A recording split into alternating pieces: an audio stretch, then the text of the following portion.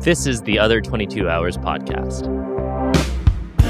Hey, and welcome to this week's episode of the Other 22 Hours podcast. I'm your host, Aaron Shafer-Haiss. And I'm your host, Michaela Anne. If you're brand new, thank you for checking us out. And if you're a returning listener, thank you for joining us again. For those of you that are new, this isn't your typical music podcast where guests come on and talk about their latest record or maybe a tour they're about to leave on. We decided to call it the other 22 hours because we wanted to focus on the time that we as musicians are off stage and talk to our guests about the different tools and routines that they have found to keep balance and inspiration in their lives during the less than shiny mundane times. Between the two of us, Aaron and I have almost 25 years of experience in the music business. I've worked at labels, been a teacher of music, and spent the better part of the last decade writing and recording my own records and putting them out independently as well as with record labels and touring the world. And I started making records with friends in high school and then spent a lot of years on the road with different bands and working as a sideman with a lot of different artists. And now I spend my time making records in my studio and with other producers in outside studios, and I also write music for TV. So, through all of this, Michaela and I have realized that there's no one right way to create a career around your passion. And in an industry where so much feels out of our control, left up to luck, who you know, being in the right place at the right time, we wanted to focus on what is within our control. And so, with that, we decided to invite our friends and some of our favorite artists on and ask them the question what do you do to create sustainability in your life so that you can sustain your creativity? Today's guest is Leyla McCalla, who is an incredible artist, cellist, singer, songwriter, and banjo player from New Orleans. She's Haitian American, originally from the New York, New Jersey area, and she has toured the world, put out a couple different records, both incredibly rich, beautiful records. One called Vari-Colored Songs, which was made up of songs in tribute to Langston Hughes, and her most recent record, Breaking the Thermometer. She was in the Carolina Chocolate Drops, and I personally met her almost eight years ago at this point when I had the great fortune of touring with her. So I've known her for a long time and was so excited to have her as our guest today.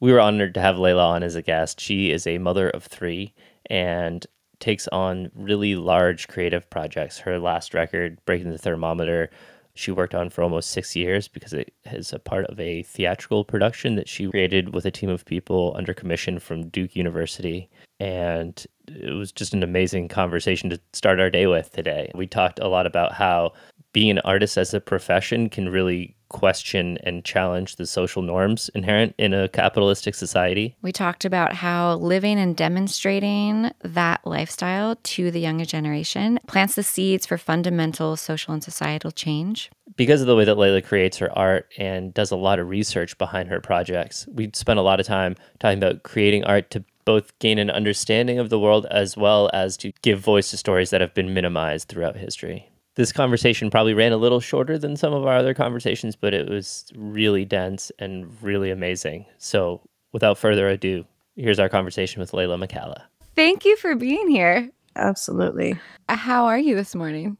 I'm a little frizzle frazzled. My kids have professional development day. So their teachers are at school, but the kids stay home. And gotcha. I, oh. you know, I'd assumed like, oh, Monday, it'll be great. So I have planned all these meetings for today. And then all of a sudden I had the kids this morning and yeah. Yeah. I will say we had kind of a stressful morning setup yeah. for this. We were scrambling. And so all of this that sense. is going on it's is, like yeah, is, is actually like really yeah, great. Okay. Yeah. it's comforting. this is working out this is working out great yeah. on our end. You're so like, now we can relax. We had the whole plan of what we are going to start with, but I feel like given how this started, I just want to jump to a different question of like what is a typical day in your life mm.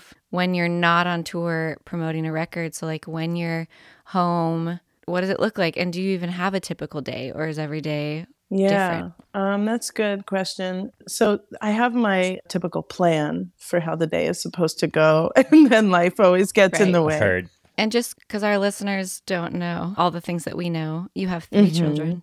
And I have three ages? children. My oldest daughter is eight and a half, and then I have two five-year-old, nearly five-year-old twins. I can't believe they're about to be five. I know. That happened fast. Yeah. Yeah.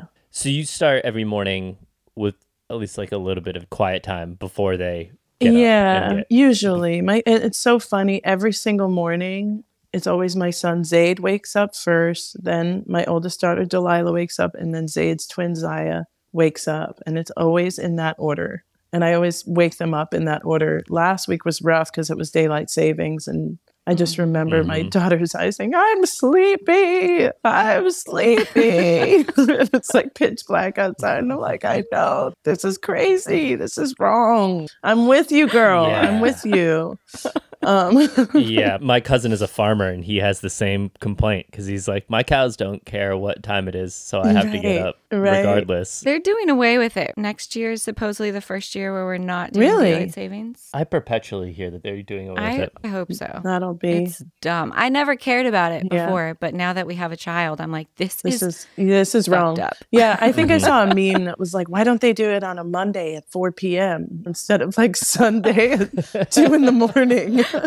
they were like, this yeah. is like punishment for parents, you know? Yeah. So anyway, I have to get my kids ready for school and they all have to wear a uniform, brush teeth, comb hair, make them look presentable, make sure they have all the stuff in their backpack, make sure we're like have all the things that we need. Delilah has her school computer because everything is about the computer and like you know this kind of reality of having to be able to navigate technology and do all these like mm-hmm. literacy apps and honestly i'm struggling with how much freaking work they give kids today yeah, really? at least at the school that we're at. You know, it's weird because I feel like I'm an artist. I care so much about arts as a part of education, but now I'm sending my kids to this school so that they have French language skills. And there's just not an integrated arts curriculum. It's so rigorous academically. Hmm. And oh, wow. so, yeah, that's something that I've been, I just think about a lot is, is this the right thing? Plus, their school is 45 minutes away from our house. So I'm driving mm-hmm. three hours a day to pick wow. up, to drop off, come home, and then to go pick them up. And so there is a certain element of the daily routine that just feels unsustainable because it takes so long mm to get mm. to school and then like there's so much homework. This is the first year that I've been really pushing more extracurricular activities. Delilah just started playing the drum set which has been really awesome. And it's so exciting to see her just light up and get into it and be inspired and have fun. I feel like there's so much kids can learn from music. But then she's also doing French tutoring, and then her siblings are doing soccer on Tuesdays. And I'm just like, oh my God, and then I'm playing a festival in Idaho this weekend. I'm just like, what the hell is life? And them speaking French is important because your family and their father's family. Exactly. Well, that's how it felt in the beginning. And now I'm just kind of like, oh my God, does it have to come from school? What needs to come from mm-hmm. school? Mm-hmm. I feel like that's a really challenging thing I'm learning having a child. Negotiating what do I think is best for mm-hmm. them and what's best for us right in our everyday mm-hmm. life our daughter goes to a little montessori school and it is a further mm-hmm. drive and at first i was very much like oh my god but then we have less time and i thankfully i still feel like we're in a position where mm-hmm. it's worth it but that constant like what parts of your life and your time do you sacrifice for things that you think are benefiting your child. It's just like a constant weighing everything in negotiation. That's so much also mental energy yeah. and weighing like what's best for her parents so then therefore we're able to be better parents versus what's best for her to have the experience of. It's just it's a lot. I know i know. I think i try to remember that the most important thing for my kids is that they feel loved and that they feel mm-hmm. secure that they know that even if they make mistakes or are mean to each other or whatever, that their mother loves them. I feel like I've spent a lot of time stressing about what's going to be best for them, especially navigating divorce, separation, and touring. And the absence yeah. of my physical presence is a recurring source of tension in my life, both internally and in my co parenting relationship. And that is really hard. I do not like to be far from mm-hmm. my children ultimately, if they know that they're loved and they know that mom needs to do this work to be who she is, to keep on providing the love that I give them and that they receive, that's the most important thing. And I'm starting to care less about whether they can speak French. Though my daughter is like speaking French and it's amazing, you know? So it's just mm-hmm. like sometimes you have to stick with things to see if they're working or not, too. I don't think that there's a perfect system for anything.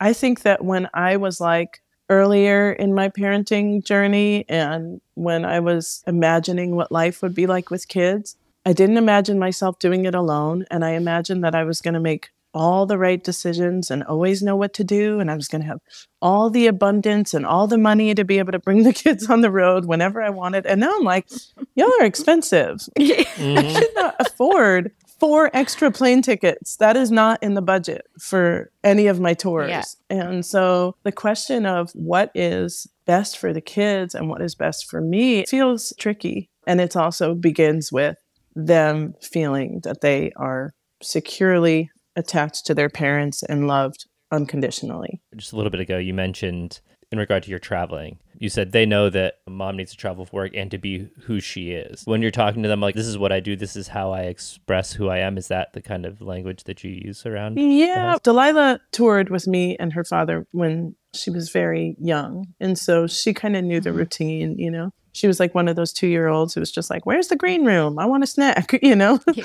on the road. Mm-hmm. And we just brought her everywhere for the first few years of her life. And so she got to know the routine and she has an idea of what I'm doing when I am at work because she experienced that. I also traveled with the twins for the first 16 or so months of their life. They just grew up knowing, like, oh, my mom is a singer. Actually, their teacher at school plays them a lot of my videos. And so they see me at school too, and they know my songs. Mm-hmm. And on the way to school, they were, especially when I was listening a lot to my last record, my son Zaid would be like, I want mama's music this morning. and so that was so really nice. cute. On the way to school, we'd be playing mama's music, you know. I think past two weeks starts to feel really long on the road to me. There's just no foolproof system for figuring out how long is too long or how short is too short it's hard to go to Europe and not take all the dates, you know? And I feel yeah. like our life is chasing dates. It's like we don't yeah. always get to choose when it's convenient. No one's like, when's spring break? yeah. When's fall break? like the next mm-hmm. parent teacher day, we'll plan it for that so that you can drive and bring the kids. Like, no, it doesn't work like that. Yeah. So there's just no perfect system. And I think that really internalizing that for myself, I think is how I help my kids survive life because there is no perfect mm-hmm. system for really anything in life, you know? And I feel like we often feel as musicians like, or I have felt often like no one understands what this means and what this is like. And it's true, but mm-hmm. really no one understands each other. We're all kind of living in this super individualistic society where we're just taught that we have to become self reliant. So I think that it's really hard to understand anyone's perspective. And that's why I chose this path because I really love my work and it's a big part of why I feel like I'm alive. It's a big part of why I feel like I'm on this planet. And I kind of feel like if you're not living your truth, whether you talk about it or not, your kids are just aware of that. It's an energetic yeah. thing. The idea that we can yeah. shelter them from the experience that we're having, even when I'm upset about something, it's my own mother has been very present in my life recently. She's living in New Orleans. You know, when I'm upset about something, I walk in the door. She's like, What's wrong? There's just like a connection between our kids and ourselves that mm. we feel each other's energy. And so it's tricky because I feel like there's always so much pulling on me. And maybe you feel mm-hmm. that too. I have this many emails to respond to. I have this many songs that need to be written. I have these things that I've said yes to. I got to figure out how to fit in in the schedule. I got to figure out the support that I need. There's never enough time. Yeah, there is not. are there certain tools or approaches that you've found that are helpful for you to like either carve out that time or to be able to switch between parent mode and artist mm. mode quickly because right now I'm just white knuckling yeah. basically. I need to do this now. I'm doing it and it's kind of by brute force versus tact or right. skill. You're much further into the process than we are. So I'm wondering if there's anything you found that helps. I think that earlier in my parenting experience, I would always be trying to do too much at the same time and get really mm. frustrated. And I think in the past year, past couple of years, really learning about the value of being fully present with my kids. Because if they're getting all of mm. me or 85% of me in a moment, 70, 85%, then they are less likely to be like anxious and needy, you know? But if they are getting me distracted, looking at my phone, responding to emails, doing this or that while I'm trying to distract them with TV or it ends up creating more problems. So that's something that I've been working hard at, you know. And we have little things that we do, like there's a little community garden plot, and Zayd and Zaya, my twins, just got their bicycles, so we'll bike down to the garden and water the garden and weed for a little bit, and then we come back, and then they're like more calm, and I can like yeah. write a couple mm-hmm. emails or take a shower. But yeah, I really feel that especially because I am not always physically here, I really need to be emotionally and mentally available to them mm-hmm. for this to feel sustainable in any way. And that's work that we have to do on our own, you know, as parents and and it's not easy. You know, it's not easy because there's endless distractions yeah. and there's endless things pulling on us and you know and our kids have that too they need that connection and that focus i really believe that children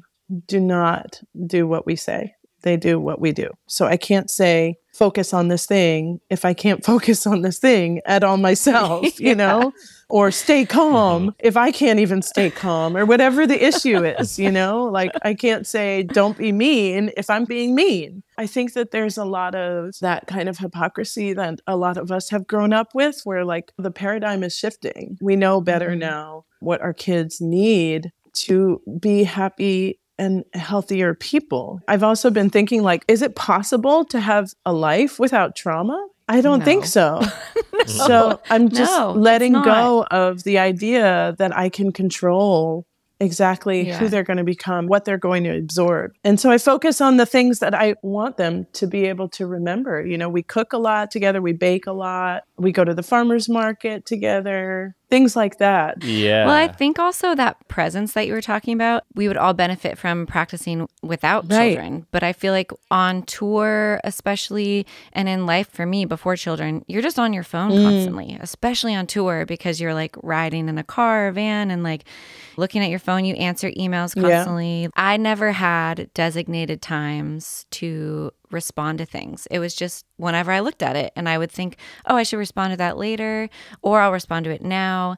And I'm learning that's actually not efficient and it's not healthy for my brain and then it's not healthy for my child. So having more like compartments of even this is the time that I can veg out and scroll social right. media and I'm not going to just do it randomly through the day because I'm not even aware of how constant that happens and that this little child is looking up, noticing that I'm giving more attention to my phone right.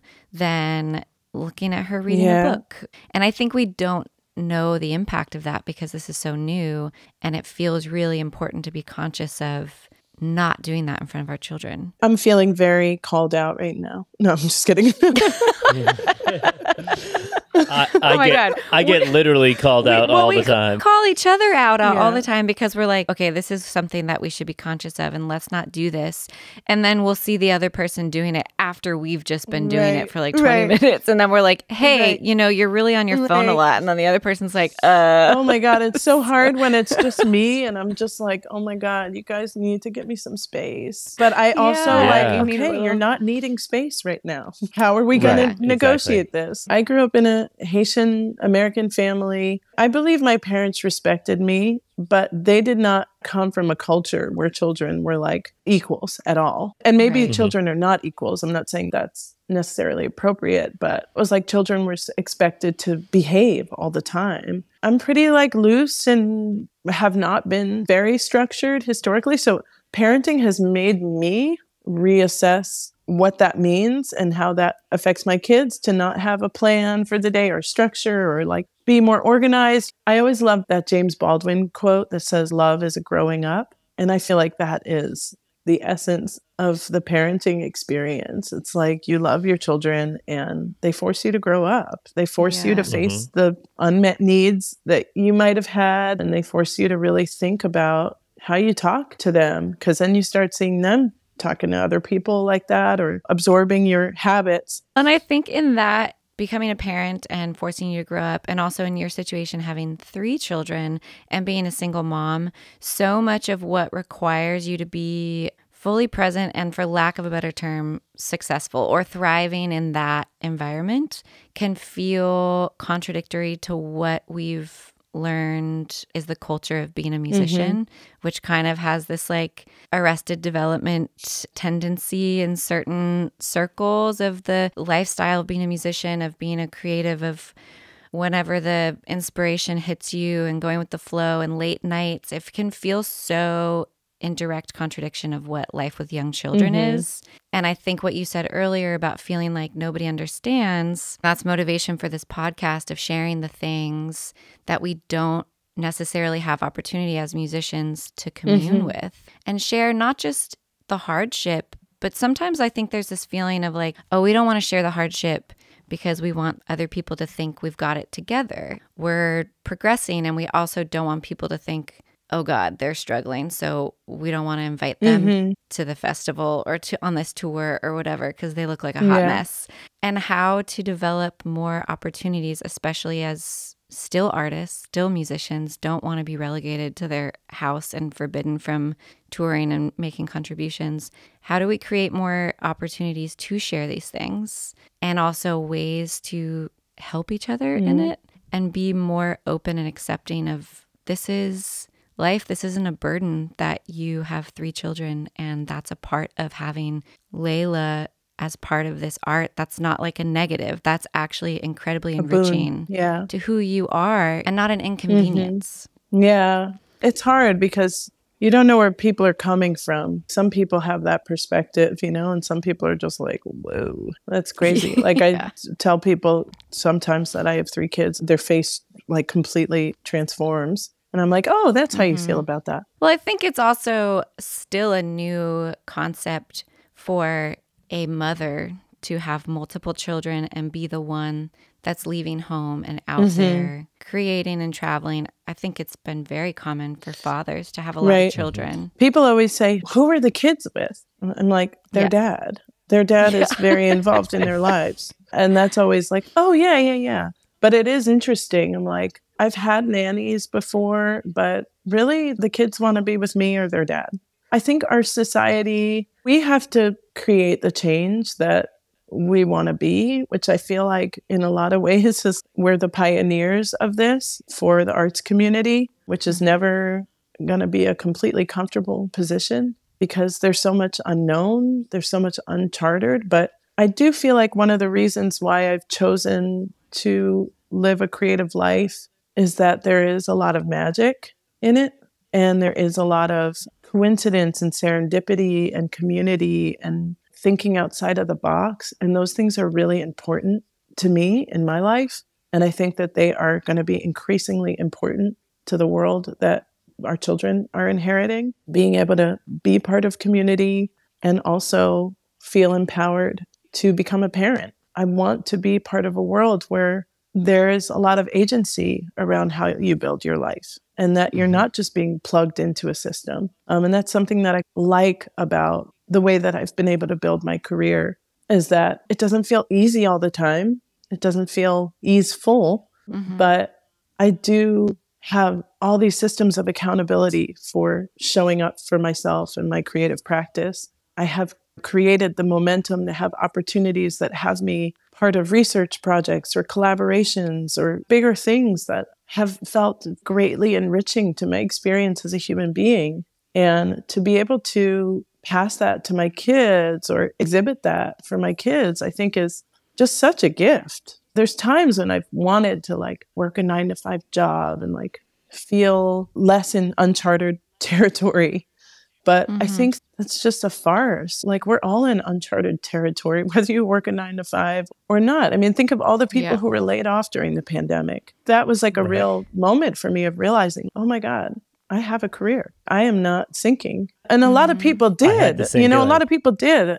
And they were doing the things that they were told they should do in order to have security. And I don't feel like I can talk about my life as a single parent musician without realizing that we're all kind of under this neo-colonial capitalist system. My approach to my life has been that I have to actively work to dismantle that.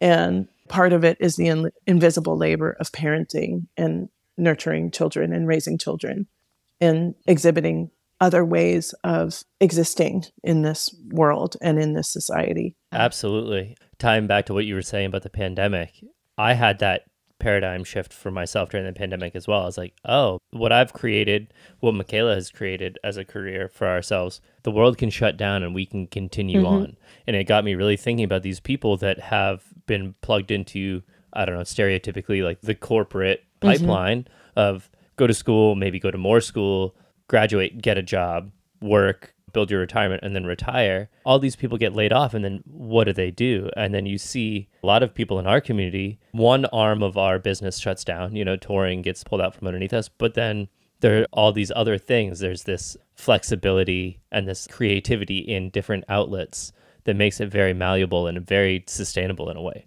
we all know it can be very hard to make it financially yeah. sustainable, but that creativity and that flexibility in a profession is actually a really sustainable thing. Yeah. I think the question is are you capable of shifting with what the shift is? Right. You know, right. because the business I think is always changing.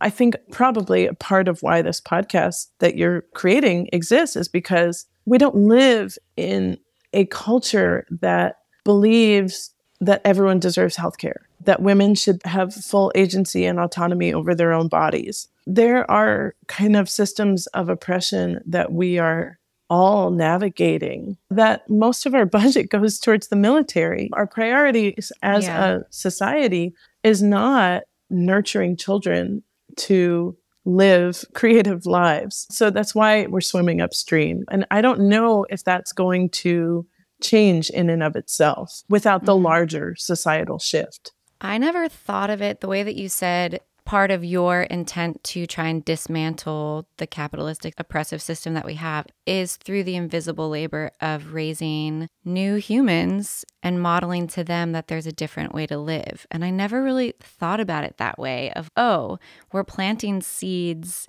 and growing this new type of crop to like go into the world and create a new system.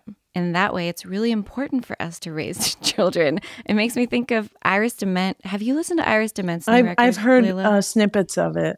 Okay, I feel like you would love it. It's incredible. And she has a song, it's very overtly commenting on political, social mm-hmm. justice, everything that's happening.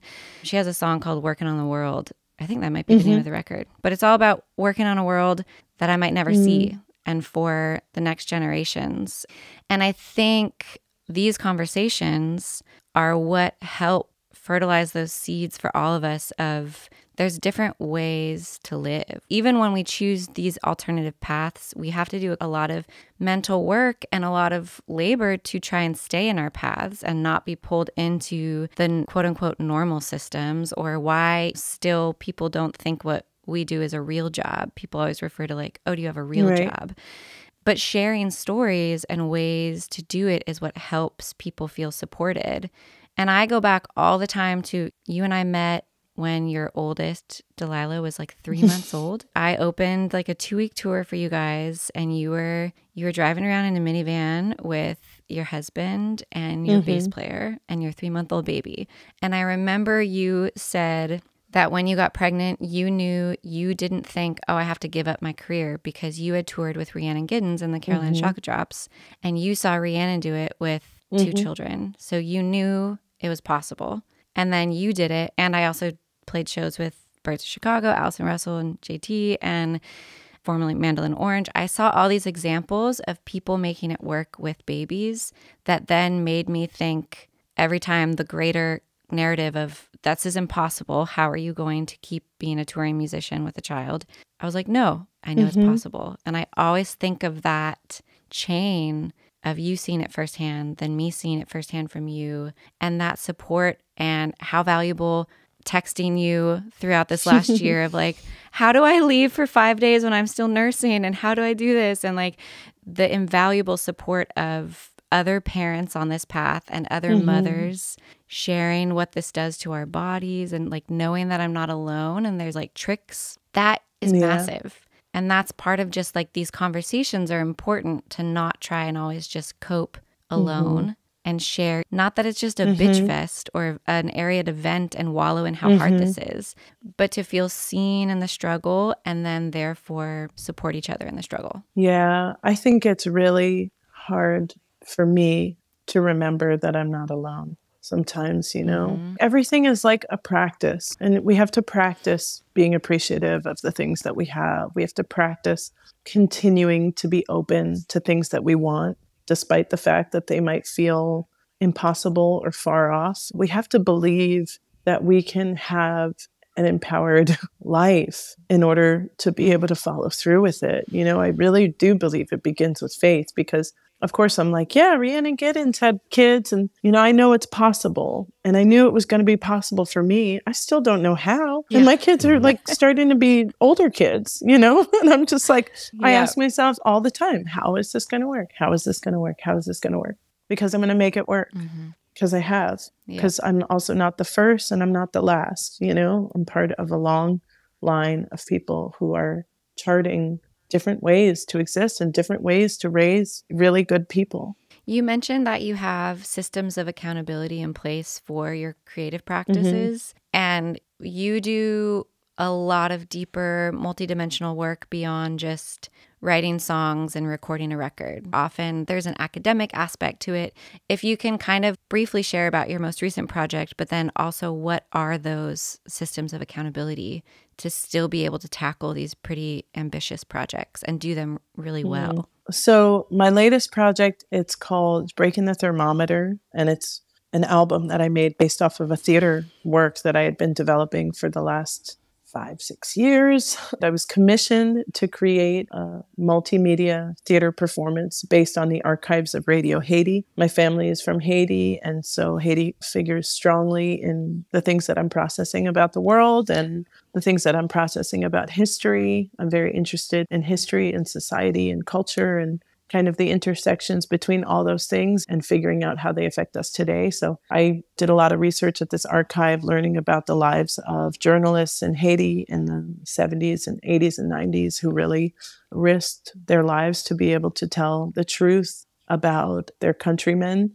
and learned a lot about the tragedies and triumphs and how important it is that we exercise freedom of speech and have an, an independent press as a part of any sort of democratic process. And so, mm. been thinking a lot about those things. I think the whole world has been thinking a lot about those things over the last couple of years. Mm-hmm. When I started the project, it was under the Trump administration and studying the Duvalier regime. It's like, whoa, there's a lot of like authoritarian parallels here. And then obviously now it's Biden. Journalists' lives are still being threatened throughout the world. And truth is a fragile thing that is often persecuted. Mm-hmm. Truth sayers are often persecuted, whether they be artists or intellectuals, academics, lawyers, journalists, for sure, all kinds of people in all different sectors of society. So that was my last project, but a lot of my work about my first record was released in tribute to Langston Hughes, and it was based on Langston Hughes's poetry and I just really love projects that require a lot of research. So I do a lot of reading mm-hmm. in general. Oftentimes, my projects are born of what I'm reading or listening to.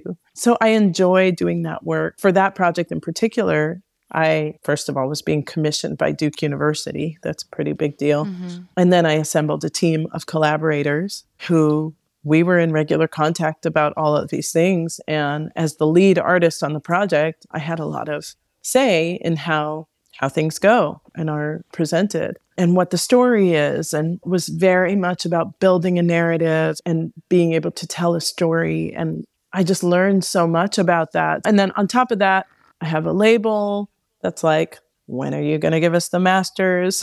you know. I have managers that are like, what are the dates? You know, like, so when I say systems of accountability, I mean, I have deadlines, I have meetings, I have other people who are making mm-hmm. sure that the meeting is scheduled. Even this, you know, it was like, okay, mm-hmm. I'm going to show up and a bunch mm-hmm. of people mm-hmm. know that I'm going to show up and we're going to make this happen, you know? And yep. so I feel like I have that at all levels of my career. I also recently accepted a position as an artist in residence at the University of Richmond in Virginia. Amazing. So congratulations. Yeah, it's been really amazing. And so I visit twice per semester and speak with students and visit classrooms and talk a lot about my work and I think that the momentum that I've built, at least if not on the commercial side, on the academics and research side, has been super fulfilling for me. And it keeps me motivated. And so to have a community of people who are just like really invested in a lot of the research that I'm doing or want to help me in some way and want to be a part of it, that has been a really amazing thing to see blossom over the last 10 years. Yeah, you mentioned your first record was based in Langston Hughes. Have you always created in this way, where there's a research historical background, or were these two disparate parts of your being and your what you enjoyed doing that kind of just fused naturally? I think that it has always been a part of my research. My solo career really started about 10 years ago when I left the Carolina Chocolate Drops. And I felt like that was always like me getting my master's degree, like mm-hmm. touring mm-hmm. with them. I mean, I learned so many like life skills during that time, pre kids, but also I think one of the biggest things I took away from that experience was that you can blend academic research with a music career, with performance. Being able to like really tap into that has been such a huge part of my experience as an artist. It's really grounded me in things that I'm truly passionate about. I just don't know if I will ever just create music that doesn't reflect something that I'm processing or reading about or want to know more about. I think the Carolina Chocolate Drops were obviously very influential in the folk music world for a number of reasons, but just the simple fact of pre Carolina Chocolate Drops, there was not an accepted understanding of the banjo as an instrument that came to the United States as part of the transatlantic slave trade. That yep. simple fact. It's not that long ago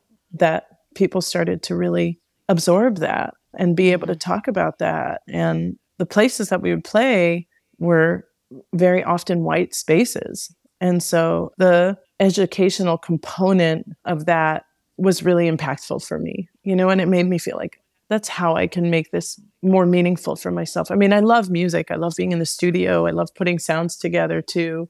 But in terms of the generative process of writing a song or putting together a piece, the emotional core for me is often rooted in telling stories that are not told enough or have been excluded or, or hidden for whatever reason. And I'm always just curious about that. And so that really drives me. And being in touch with that as a part of my process has also just really grounded a lot of my work in a way mm-hmm. that feels very me. And I would imagine very purposeful beyond, I could just be projecting my own struggles of ego with a music career. Your personal history and emotions and feelings are so intertwined with everything that you're writing about and is part of it. But there's this bigger purpose that's not just about your single feeling life. Right? Yeah. Yeah. I, am probably a lot of that comes from being a Black woman, growing up in America from a Haitian family, just a lot of questions about my identity my entire life. You know, like, where are you mm-hmm. from? What are you? And feeling like I never really fit cleanly into any boxes that our society asks us if we fit into these boxes. And I was always like, right. I don't know. Like, I've got a lot of different identities and a lot of different heritages. And of course, I identify as Black, but that feeling of not being so cleanly identifiable in one way and never being invisible because of that has been a big motivator for me, too. And a big part of the way I've chosen to live my life. Is like I never fit in any boxes. I was never made to fit in a box. I was always made to create my own box in my own way. it's fun to hear you say that because we just had Melanie Charles on our podcast. Oh, who, awesome. Do you know Melanie? I know of her. Her parents are Haitian and she was born and raised in Brooklyn, but she was saying the same thing about really having to come to terms with and step out against basically being told what box do you fit mm-hmm. in like why do you not fit in this box? And a lot of her work and her process is i don't fit in that box and i don't want to fit in the box that you tell me that i should fit mm-hmm. in i am multifaceted. I relate to that and i have to remind myself of it regularly because i'm always like why am i feeling insecure? Oh because it's that thing where i'm suddenly feeling like i'm not sure that i can do it the way that other people or need it to be done and even if that's not being asked of me. You know what I mean? It's like such mm-hmm. a practice to yeah. um, deconstruct that way of thinking. Well, and I think because there's this greater message, whether you hear it directly or overtly on a daily basis, but within American culture, I feel like we want everybody to fit into a box very neatly. Mm-hmm. And then there's even like the next level of being a black woman in America where as a white person, my perception is that our greater American idea is black is one thing. There's this one African American idea that every person who has dark skin fits mm-hmm. under. And the work that you're doing is combating that narrative and explaining no, there's so much rich, nuanced, very different history, cultures, countries of mm-hmm. origin so much bigger than our main narrative in America wants to recognize or has shown much interest in. Yeah, and knowing. I think part of that for me is that it begins with the education system, which is maybe why I'm so drawn to academic projects because our education has been oh my god i was dying last week y'all delilah came home she's like we're learning about colonialism and the native americans and i said to her delilah you know there's native american people still exist and they're still part of our world. This isn't just the past. It isn't just what mm-hmm. you're being told mm-hmm. at school. But I was also just kind of like, mm-hmm. really? Like, is this really still where we're at? I think in some states we're trying to go even further. Oh my God. Yeah. I mean, yes. Tennessee being yeah, Tennessee, Florida. I mean, the outlawing mm-hmm. of books. I feel that there is a lack of intellectual curiosity and an acceptance of the Western European perspective. And also, just like with my kids, I can't just say what I believe and say what I think. I have to actually live those principles. I actually have to show up mm-hmm. for what my ideal is in my life. And I have to create my life out of that, not just my art, but my actual life, the way I live my life. And I think yeah. that that's also why artists are so important, you know, because they do give us a way of seeing the world just by their mere existence and the way that we've been able to craft lives that are not status quo. Yeah. That's a beautiful way to end because we're we mm-hmm. want to be conscious of your time. I will say Eric Ward, who is an incredible social justice activist. He was the director of Western State Center and Southern Poverty Law Center fellow. And I met him because of you, because he was a friend of your oh father's and came to the show in New York that I opened for you like back in uh-huh. 2014. Long story short, he always says, Artists are so important in social justice and social change because artists have the ability to imagine a new world mm-hmm. and communicate that. That's what it feels like you just said. That's what I'm trying to say. yeah. That's what I'm trying to do. Then, I'm like, don't kill my imagination, please. Jesus. The daily practice of staying committed to that and remembering your value in that. Yeah, in a world that doesn't always value artists, yeah. you know. It's yeah. we have to mm-hmm. value each other. Yeah. Exactly. Well, we know your time is very precious, so we don't want to take any more of it. I've been loving these conversations because we could talk forever with so many people. I feel like we just scratched the surface with you. But thank you so much for giving us your time and being here Absolutely. Us. I appreciate you wanting me to be a part of this. Thank you for listening to this week's episode of the Other 22 Hours podcast. You can find more info on this episode, including links to things that we talked about, by going to theother22hours.com and clicking on episodes. We want this show to be a resource for our community from our community. So we'd love to hear from you about what works and what doesn't. Please let us know by sending an email to info at theother22hours.com. And we'll see you back here next week for another episode.